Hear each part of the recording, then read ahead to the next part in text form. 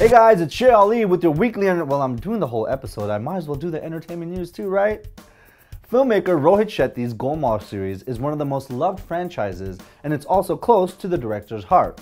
His last film was Simmba featuring Ranveer Singh, and the director is currently working on Akshay Kumar's cop drama Sooryavanshi.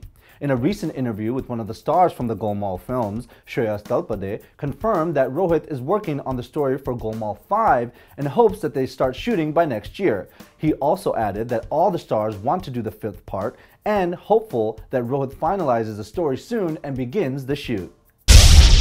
Kangana Ranaut and Rajkummar Rao star Judgementall Hai Kya hit theaters last week, but the movie has had its fair share of controversies right from the start. Turns out the movie is still in trouble for plagiarizing a European artist, Flora Borsi's work. The artist posted on her Facebook and Twitter to point out the uncanny similarities between her artwork and the film's posters. She mentions that the filmmakers didn't ask for any permission nor reach out to her, and she feels that it is a shame for big companies plagiarizing freelance artists' work. The artist also did research and found out that the movie recreated other artists' work, possibly without permission as well. The makers have yet to comment.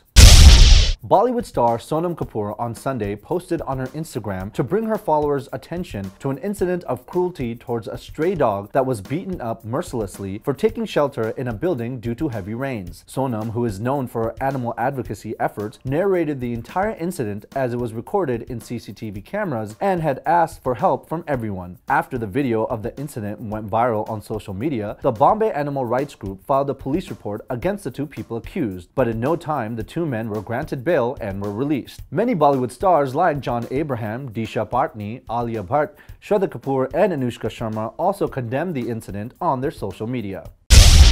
The TV show Aapki Adalat, hosted by Rajat Sharma, is a popular show that resembles a courtroom where guests are made to sit in a witness box during their interview. And like a courtroom, a lot of secrets are leaked out. The show's most recent guest, Govinda, was no exception. The actor made some shocking revelations about his association with Kader Khan and David Dhawan and why he refused movies like Taal, Chandni, Devdas, and a lot more. But there's one claim that he made, and that was of him insisting that he was offered one of the biggest Hollywood films films of all time, Avatar, directed by James Cameron. Govinda claims that it was him who opted out of the movie due to the lengthy shoot, but it was also him who had given the Oscar-nominated director the title of the film. Govinda's revelation has caused quite a stir and the actor is being trolled all over social media.